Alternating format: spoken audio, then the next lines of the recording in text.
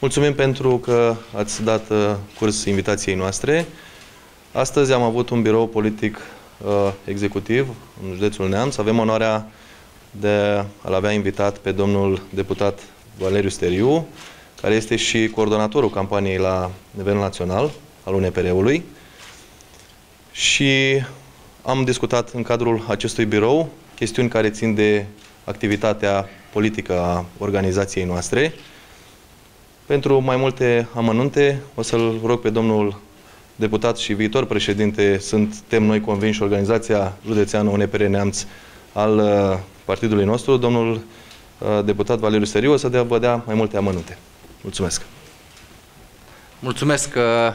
Într-adevăr, amănunte foarte multe despre ședința în sine. Cred că cel mai bine președintele organizației, uh, domnul senator Liviu Bumbu, dar uh, vă, vă va da aceste amănunte, însă eu am fost în calitate de invitat, în calitate de coordonator de campanie și pot să spun că a fost o discuție foarte utilă, în care am analizat uh, stadiul actual al organizației județene Neamț pentru pregătirea acestei campanii de alegeri locale, este o organizație puternică, după cum vedeți alături de, de noi sunt uh, primari, viceprimari, consilieri județeni, uh, deputat, senator.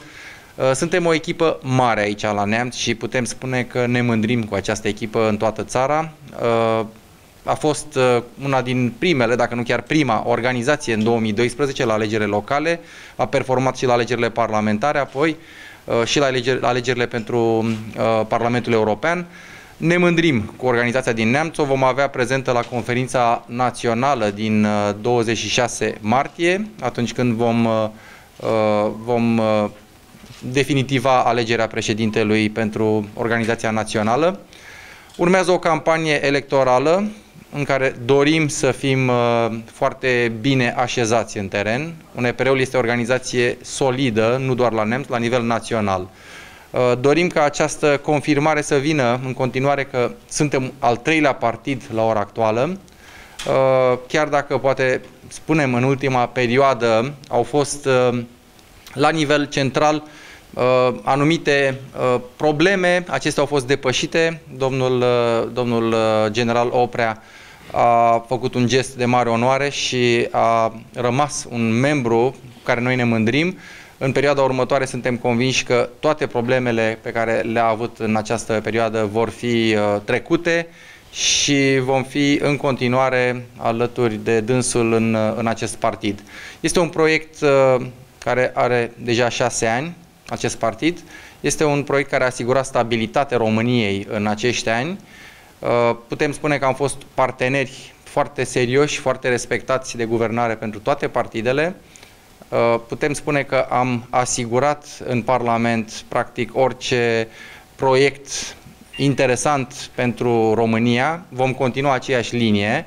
Dorim să fim în continuare un partid care să-i reprezinte pe români, dorim să fie partidul care va uh, da încredere românilor că aceștia au în continuare o viață bună în România. Prosperitatea și elementele care derivă din, uh, din ceea ce înseamnă politica în România, care se reflectă în mod social, în mod, în, în mod real, în social, în partea economică, sunt de altfel uh, prioritățile care le urmărim în actuala linie și în viitoarea linie a partidului. Uh, în cadrul conferinței naționale din 26 martie vom prezenta și liniile pe care vom merge, în primul rând liniile de viziune economică și de viziune politică. Avem oameni care ne reprezintă în toate domeniile de activitate cu succes. Avem dintre aceștia foarte mulți care vor candida la nivel național, atât pentru primării cât și pentru consilii județene și suntem convinși că scorul pe care îl va avea UNPR-ul la aceste alegeri din 5 iunie 2016 va fi un scor mult peste așteptările multora care deja ne vedeau în altă direcție. Uh, sunt convins că și dumneavoastră aveți foarte multe întrebări. L-aș lăsa pentru câteva minute pe domnul uh, președinte Bumbu să precizeze elementele din această, din această ședință la care am participat și pot să spun că a fost o ședință foarte, foarte utilă. Domnul președinte, vă invit pe dumneavoastră și vom continua cu întrebări și răspunsuri. Vă mulțumesc. După cum bine se știe, noi am avut două cutremure, unul foarte mare, care nu mai putem să recuperăm pierderile. Ne referim la pierderea președintelui domnul Culiță Tărâță, un cutremur mai mic, așa, fără efecte prea mari, plecarea președintelui, s-ar părea că după ce am fost sabotați din interior, dar așa e lumea politică, pierderile noastre pe care le-am contabilizat ultimele săptămâni sunt minime, în adevăratul sens al cuvântului. Avem uh, organizații aproape peste tot în județ, mai avem doar câteva comune, le numărăm pe degetele de la o mână unde trebuie să definitivăm uh, organizațiile și candidații.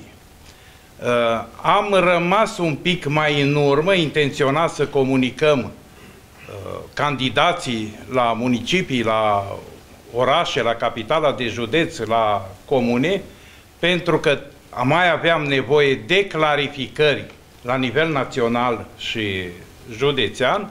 Aceste clarificări în ultima săptămână au fost făcute în mod evident. Vă poate da informații mai puternice și cu o autoritate mai mare domnul uh, președinte uh, Valeriu Steriu. Uh, nu pot remarca decât atât că toți colegii noștri, aici a fost un birou restrâns, pot să spun, dar birou județean, colegii noștri vor să candideze și vor să învingă. În rest, zic eu, vă stăm la dispoziție Domnul deputat Moisii, dacă vrea să vă adreseze. Eu țin să precizez un lucru. În urma fuziunii cu PPDD-ul, la Neamț, vă spun clar că, într-adevăr, suntem o forță. Așa cum spunea și domnul Steriu, organizația Neamț, la ora la care vorbim, se află pe locul 2 după sectorul 2 din București, al domnului Ionțanu. Noi astăzi, în ședința noastră, am încercat să ne adunăm gândurile și să luăm o hotărâre decisivă, în primul rând pentru alegerile locale și urmând bătaia lungă pentru toamna alegerile parlamentare. Esența a fost comunicare, comunicare și iar comunicare de la centru cu teritoriu, de la organizația județeană la cele din, de pe raza ateurilor de pe raza comunelor. Eu sper că o să facem o figură frumoasă și o să rămână mult surprinși la alegerile locale. Dacă vreți să, adrese, să adresați... O întrebare pentru domnul Steriu, dacă îl ca peste cum sunt. Sigur. Uh, ieri presa centrală a anunțat trecerea vreo 5-6 parlamentari deputați spre PSD, dând de înțeles pe sus, evident, că hemoragia ar putea continua. La neamț, cum stați din punctul ăsta de vedere? Și încă una pentru domnul Cumu, ca să-i las pe colegi după aia. Uh, reușiți să anunțați în varianta solo, nu pe listă cu PSD-ul, candidații pentru alegerile locale până pe 5 iunie. Mulțumesc. Haideți că vă răspund eu. Colegii de la Neamț îi avem alături. Lipsește domnul deputat Enache, dar practic sunt în grupul acesta și tocmai au confirmat în fața organizației nu dorința de a rămâne, ci dorința de a, de a intra efectiv în luptă în această campanie electorală pentru locale. Eu sunt coleg cu domnul Bumbu ca agricultor de foarte mulți ani cu domnul deputat Moisi, odată cu venirea în grupul nostru, a fost, uh, ca de altfel toți colegii veniți din PPDD au fost uh, intrați într-o familie.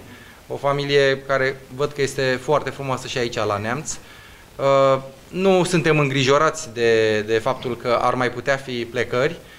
Sperăm că și dintre cei care ieri și-au arătat intenția de a pleca vor veni înapoi. Uh, au fost într-adevăr anumite destabilizări în ultima vreme, inclusiv mediatice, dar uh, atmosfera este foarte bună în echipă. Odată cu conferința națională din 26 martie vom avea cu siguranță și toate elementele de a motiva, de a porni acest drum nou al partidului și de a arăta o față foarte frumoasă a acestui partid, pe care de altfel am arătat-o în toți acești ani. Suntem un partid unit și foarte disciplinat. Mulțumesc.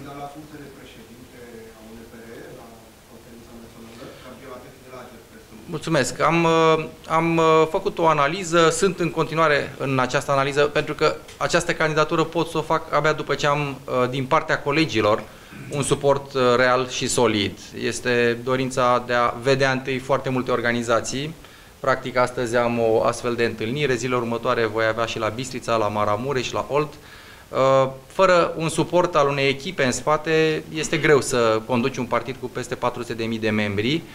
Cu siguranță, dacă mi-asum această decizie, este o responsabilitate foarte mare și o pot duce cu sprijinul unor colegi de acest gen și cu organizații la fel foarte puternice.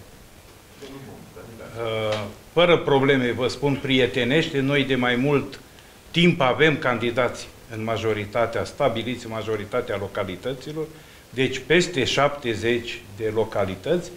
Faptul că am întârziat trebuie să recunoaștem că s-a datorat sau a fost cauzat și de indecizia un pic uh, care s-a manifestat de la centru în privința colaborării cu celelalte partide, în special cu PSD-ul. Dar uh, exact așa cum este dorința tuturor din țară și din județ, vor să candidăm singuri, Uh, să mergem pe liste singuri, deci nu e nicio problemă.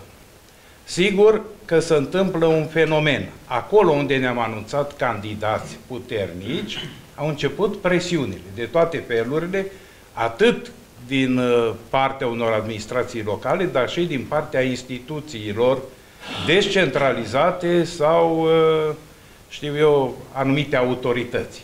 Deci, sincer, au apărut presiuni și au devenit țintă. Da, nu ne sperie, dar uh, este o realitate. Se lucrează așa cum știu vechii activiști comuniști să lucreze în campaniile electorale.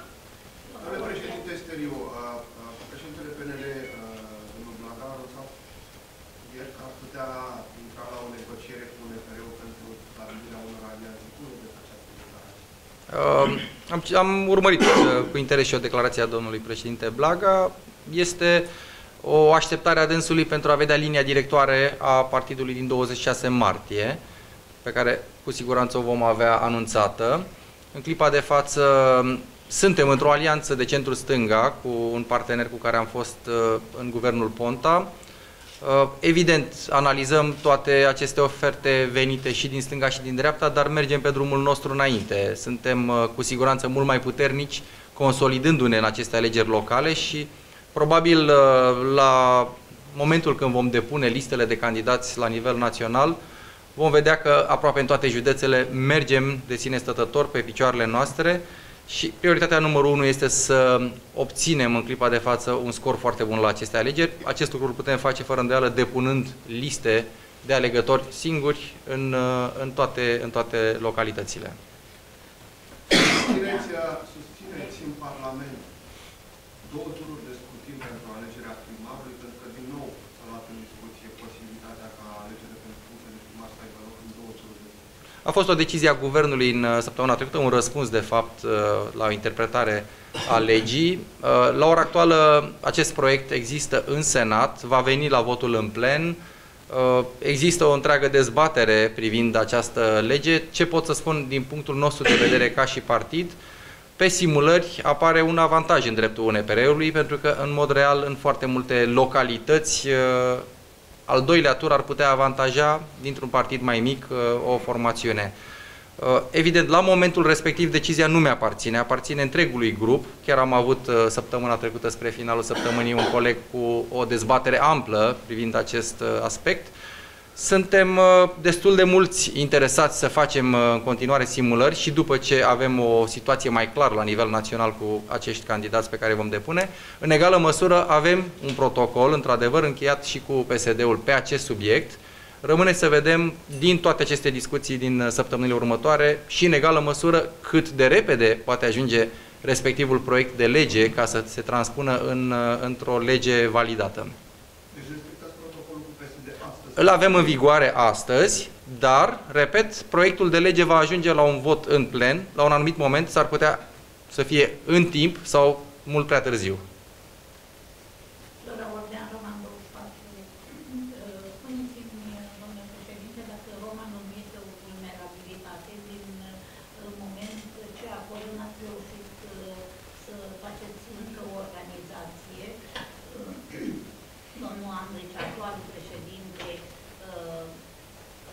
Află în tabăra PNL-ului și Roman este un chef al PNL-ului, ce veți face acolo? Plus pierderea secretarului de stat, al ex-secretarului de stat al Minantocii. Nu-l vedem aici ce se întâmplă la Roman.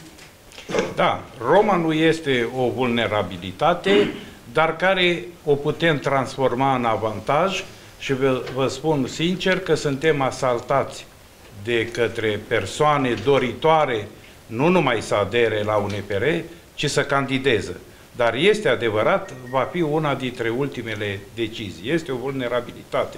Iar cei care nu pe care nu-i vedeți alături de noi este decizia lor, dar eu vă spun din nou, fără a face paradă, per ansamblu, per total, pierderile sunt, sunt foarte mici.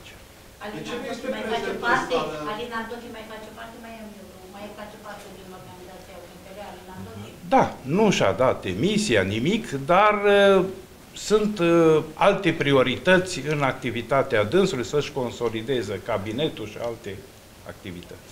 Iar uh, pe linie de Consiliul Județean, uh, faptul că uh, ați obținut postul de vicepreședinte în persoana uh, domnului Vasiliu prin negocieri cu PSD-ul uh, înseamnă o altă poziție a dumneavoastră în Consiliul Județean? Uh, Ce se va întâmpla în războiul acesta uh, dintre PNL și PSD referitor la uh, Spitalul Județean, la APASER uh, și toate războaiele care nu au uh, încă bătut în viață?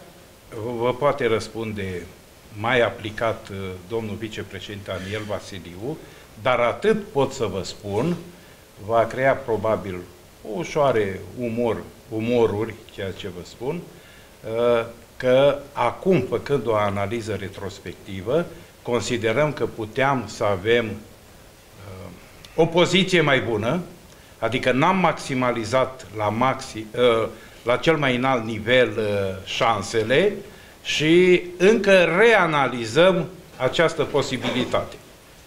Aș vrea să remarc, dacă îmi permiteți, lipsa singurului președinte al filialei județene a UNFR, a domnului Ciprian Șerban, nici la prezidiu n-am văzut că ar fi fost uh, prezent. Ce s-a întâmplat? Pentru că există pe surse informații că a apărut o ruptură între uh, Ciprian Șerban și de parte și dumneavoastră deci, eu n-am văzut nicio ruptură, a participat alături de noi. În prezidiu au fost numai patru persoane, nu e, deci parlamentarii... Președintele filialei județene nu stă în prezidiu? Dar nu știu care Aș putea eu să, să insist cu un răspuns aici. A fost și comunic și eu personal foarte bine și cu domnul Șerban și cu toți colegii veniți din PPDD care sunt noi noștri colegi. Deci nu mai există o diferență. Noua calitate a la nivel național pentru toți cei care au fost președinți ai PPDD sunt vicepreședinți UNPR la nivel județean, în toată țara. Lucrez foarte bine la centru și cu Simon Aman, fosta președinte, și cu Liviu Neagu, cel care este fostul secretar general și aș putea spune mâna dreaptă ca și coordonator de campanie. Este o echipă de oameni deosebiți care au venit alături de noi, inclusiv la județul Neamț am văzut câțiva colegi care au venit direct în funcții de aleși și care merg alături de noi. Iertați-mă, cine conduce filiala UNPR Neamț? Domnul președinte Liviu Bumbu este președintele organizației. Și domnul Ciprian Șerban este vicepreședinte? Vicepreședinte, conform protocolului Protocol. din fuziune, timp de trei luni au fost în uh, poziție de vicepreședinte, de copreședinți, iar apoi s-au transferat automat în poziție de vicepreședinți. Domnul, domnul primar Sorin Oatu, v-ați înscris în UNPR? Păi eu sunt în 2012, am candidat în această echipă și acum voi candida tot în această echipă. Da, în vechiul mandat, da. Suntem o echipă mare. Bun, mai sunt întrebări? O singură întrebare. Vă rog. Vorbeați mai devreme apropo de votul, ipoteza votului două, două tururi, de, de simulările care, pe ideea de scor, vă duc sau nu la o idee. La UNPR și mă întreb dacă și la alte partide s-au făcut simulări pe, pentru o eventuală decizie pe acest subiect important pentru alegători, pe ideea de democrație, legitimitate, reprezentativitate?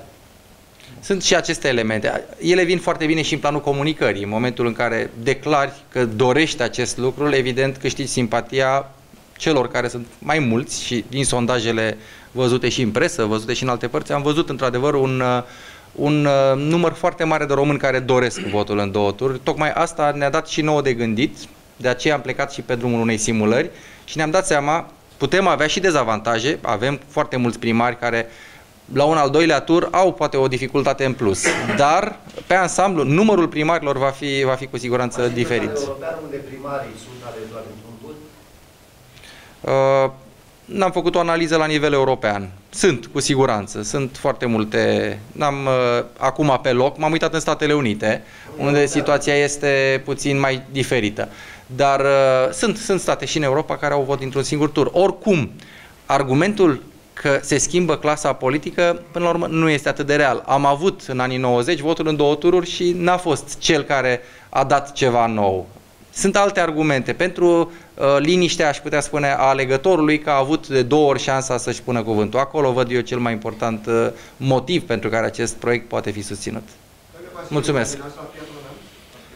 Înainte de a vă răspunde la această întrebare, vă rog să-mi permiteți să răspund doamnei Iordan pentru că am uh, rămas uh, dator. Deci, în Consiliul Județean, cei 10 consilieri județeni din partea UNPR-ului întotdeauna au avut o atitudine corectă față de protocolul pe care l-am avut la nivel local, județean, cu PSD-ul. Atâta timp cât partenerii noștri înțeleg să ne trateze cu respect, să nu acționeze împotriva intereselor uh, pe care UNPR-ul le are în județul Neamț, interese politice de altfel, uh, atâta timp cât uh, înțeleg cei de la PSD că suntem parteneri și putem continua acest parteneriat, dar în condiții win-win, eu cred că împreună cu colegii mei din Consiliul Județean, cu care ne-am săftuit de fiecare dată, înaintea fiecărei ședințe de Consiliul Județean, putem să facem o, o, o poziție corectă și frumoasă în ceea ce înseamnă atitudinea noastră în Consiliul Județean. Repet, atâta timp cât partenerii noștri înțeleg să ne trateze de pe picior de egalitate și nu de superioritate.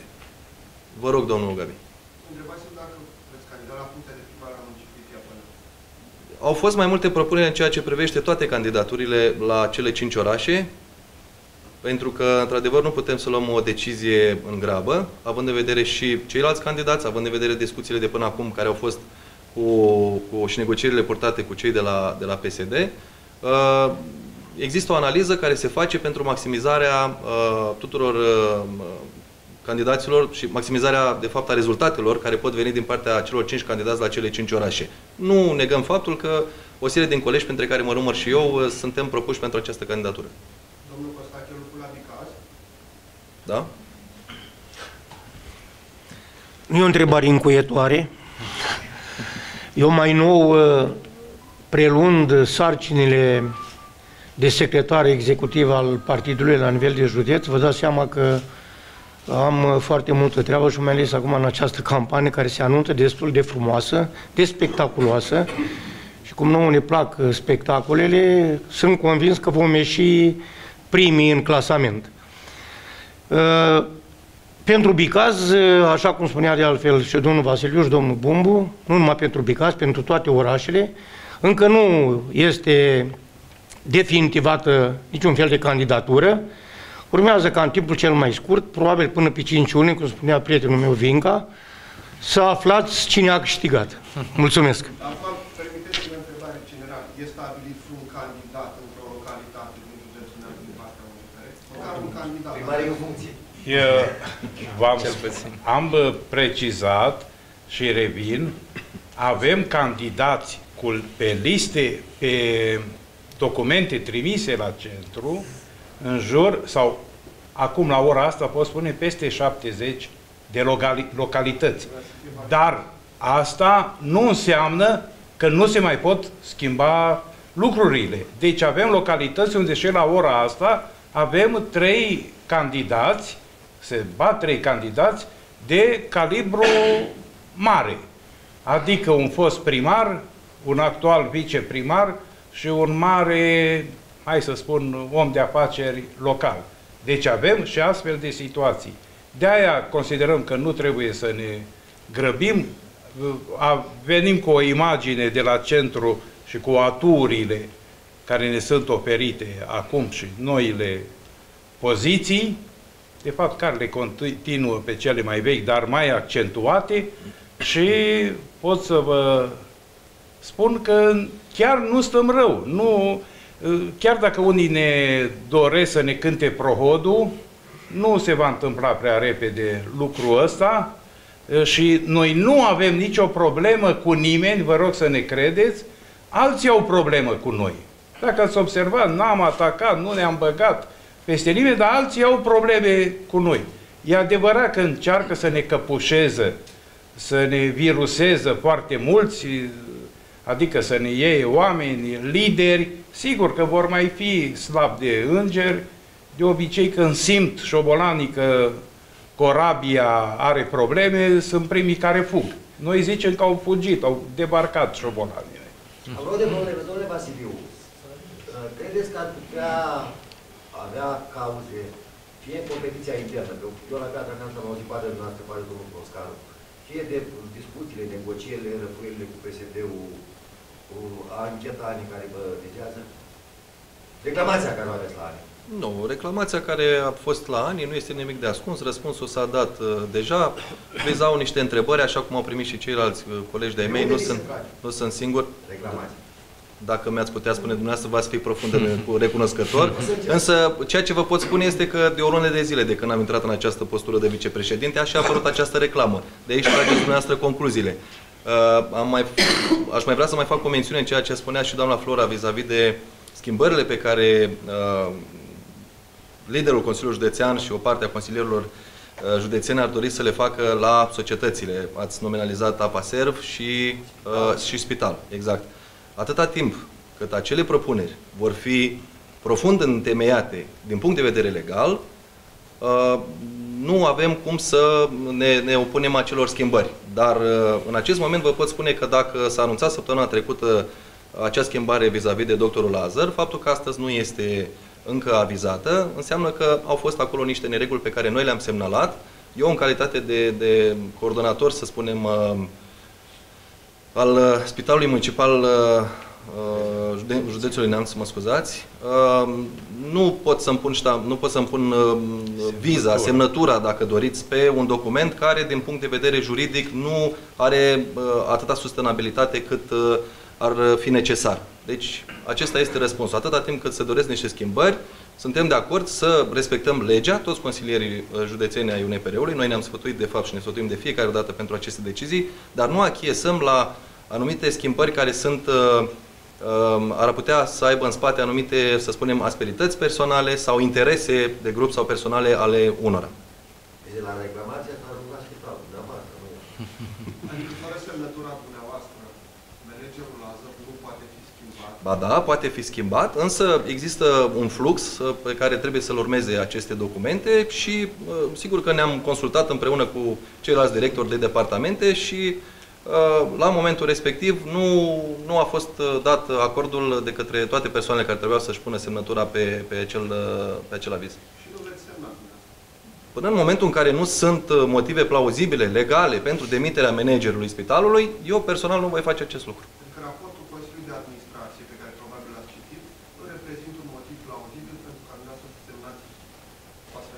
Nu numai din punctul meu de vedere, ci și din punctul de vedere al, uh, al altor colegi care nu au vrut să semneze. Pentru că se putea demite și fără semnătura mea, dar faptul că nu s-a întâmplat până astăzi înseamnă că acolo sunt niște probleme de ordin uh, legal. Să doar doamna care vrea să schimbe pe Lazar, mai pe românește. Nu pot... nu semnează, vicepreședintele nu semnează, nu să semneze pasnic. Nu pot eu să vă răspund la acest, la acest lucru. Cine dorește schimbarea? Uh, opinia publică și presa sunt convins că uh, și-au făcut deja o imagine vis-a-vis -vis de acest subiect. Ideea este că domnia sa, prin calitatea pe care o are de președinte al Consiliului Județean, poate semna și fără acordul vicepreședintelui. Dar în conflictul La mijloc, ca întotdeauna. Un epereu a fost Eroul lateral. Eu încerc să am o relație uh, cât mai uh, corectă și din punct de vedere instituțional, dar uh, am învățat că în viață nu e bine să te pui între două femei puternice, așa că încerc să uh, a, aplic o politică cât mai, cât mai diplomată pentru a, să spunem, a așeza și a îndepărta anumite asperități, care pot fi de ordin personal până la un anumit punct sau altele de ordin instituțional. Dar eu cred că în Consiliul Județean lucrurile ușor, ușor intră pe un făgaș normal. În campania trecută, unul dintre principalele motoare ale UNPR-ului a fost propunerea legislativă de impozitare a marilor averi. Domnul președinte, 58 de inițiative legislative, aceasta nu a văzut la dumneavoastră. Ce se întâmplă cu această inițiativă cu care ați câștigat foarte multă simpatie electorală și foarte multe voturi? În uh, mandatul trecut, această propunere a ajuns în final la votul în plen, unde ne-au lipsit din nefericire niște voturi ca să putem uh, trece cu ea în aplicare. Uh, am analizat-o, o avem ca și prioritate în primele cinci legi pe care ni le propunem, alături și de alte legi la care avem în clipa de față un grup de lucru. Aș putea să spun uh, în mod prioritar dorim să găsim o formă prin care să stopăm vânzarea terenurilor către străini. Este ceva care vedem din, uh, din toate locurile că este cerut.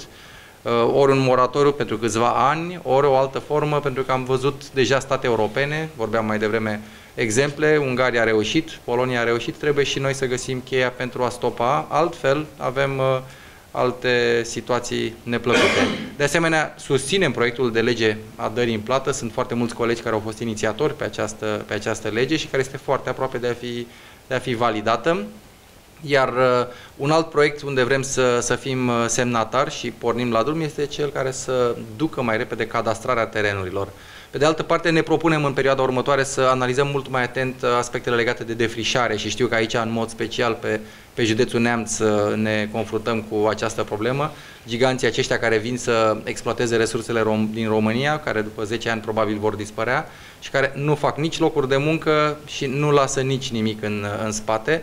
Vrem să analizăm cum putem uh, stopa acest, acest fenomen. Sunt priorități legislative, într-o perioadă în care încă lucrează Parlamentul, vă spun, uh, suntem uh, foarte mulți colegi care ne regăsim lunea, marțea și miercurea la plen, la comisii.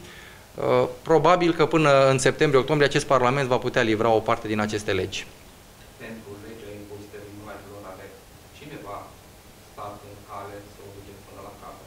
La momentul votului în plen, evident, uh, forțele din dreapta eșicherului politic nou susținut-o, dar au fost și câțiva din uh, parlamentarii de stânga la momentul respectiv. Vorbim de parlamentul anterior, nu de actualul format în, uh, în, din, de după 2012. Vreau să vă amintesc că mai este o inițiativă care se află în fața ultimului vot care vă, prive, vă privesc pe dumneavoastră, chiar dacă sunteți tineri, chiar foarte tineri unii, din presă, și anume ca asociațiile, organizații, un proiect a UNPR-ului, precizez, în exclusivitate, ca organizațiile ziariștilor, a celor din presă, să fie uh, reconsiderate, adică să fie apreciate la fel ca acelorlalți creatori, adică a celor uh, din, uh, știu eu, din artele plastice, din muzică sau din alte domenii și anume ca efect să beneficiați de aceleași drepturi ca și ei.